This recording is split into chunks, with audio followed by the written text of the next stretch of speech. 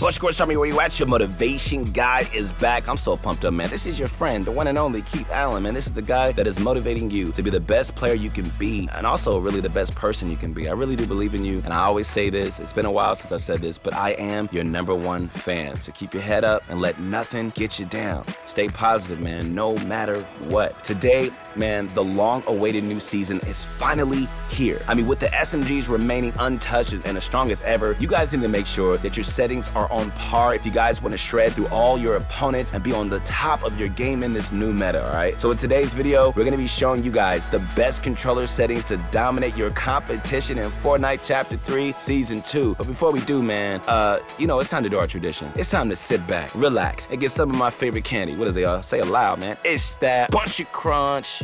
Yo, let's get this going.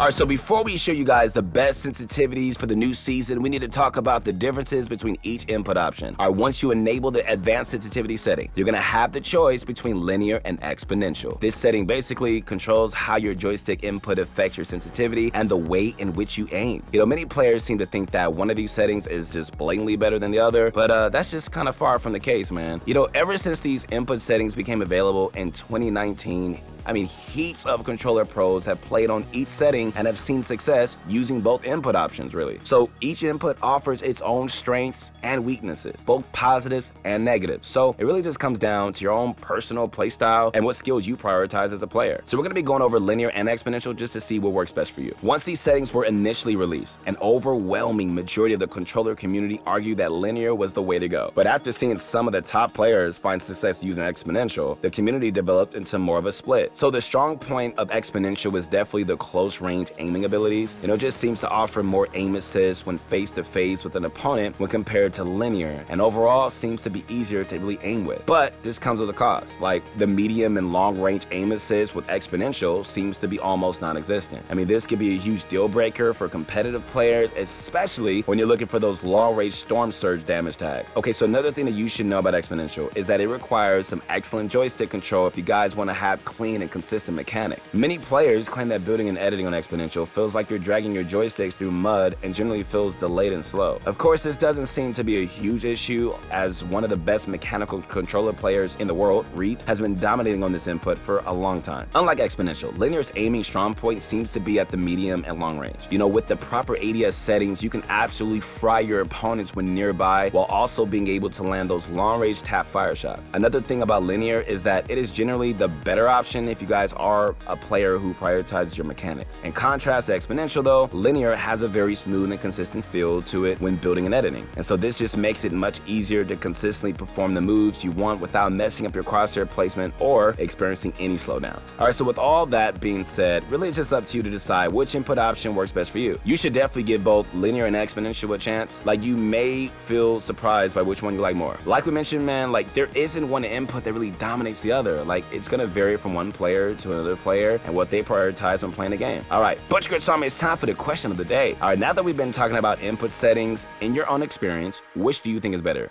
Exponential or linear? Let us know which one you guys prefer, and uh, we'll definitely check out your comments below.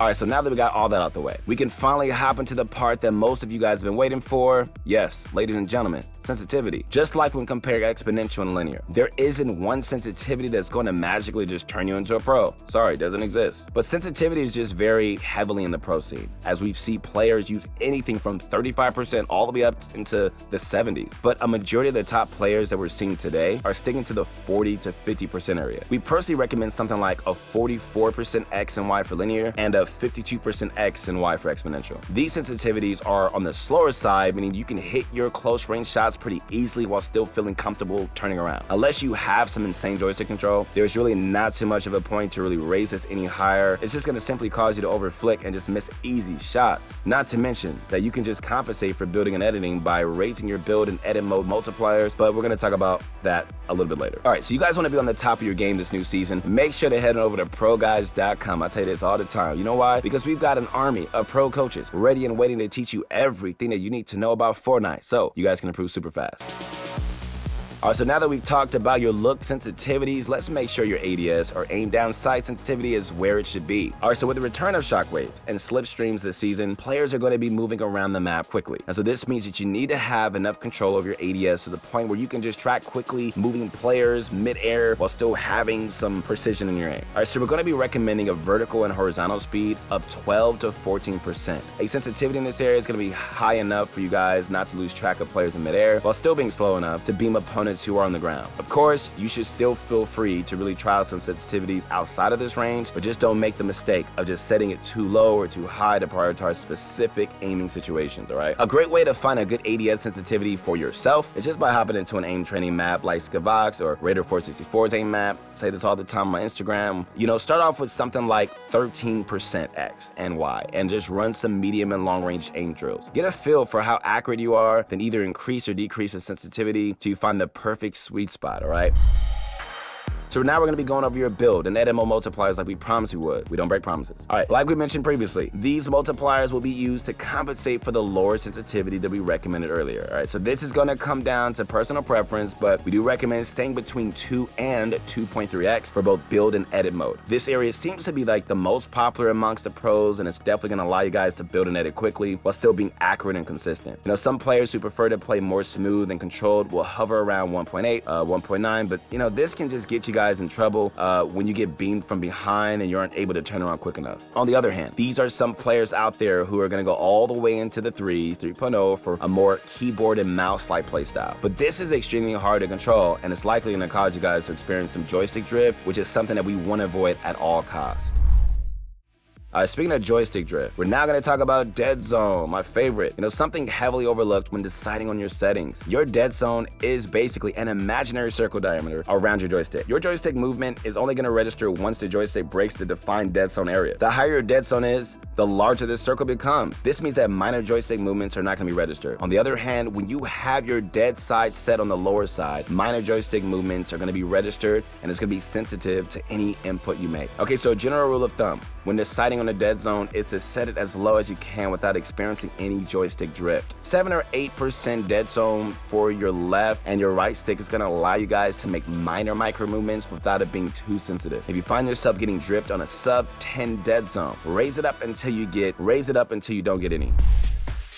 Alright, so to wrap up today's settings video, we're to be going over the differences between playing with paddles and a claw grip. There's nothing wrong with playing on a standard controller with a relaxed grip, but a certain point, man, you're to be held back from improving. And this is due to you not being able to just move your right joystick while hitting your buttons at the same time. And this is seriously to mess you up while performing advanced moves or even basic 90s. So to avoid this, alright, players will either switch to a claw grip or a controller with paddles. A claw grip is where you hit your buttons with your point finger and your trigger with your middle finger. This works, but it can just be pretty uncomfortable to really play with. On the other hand, using controller with paddles, it's gonna allow you guys to play in a relaxed position while still having optimal bind. Both these options offer the same ability, so it's really up to you guys on which one you guys wanna try out. But we personally recommend trying out paddles as this is just much easier on your hands and it really gets the same job done.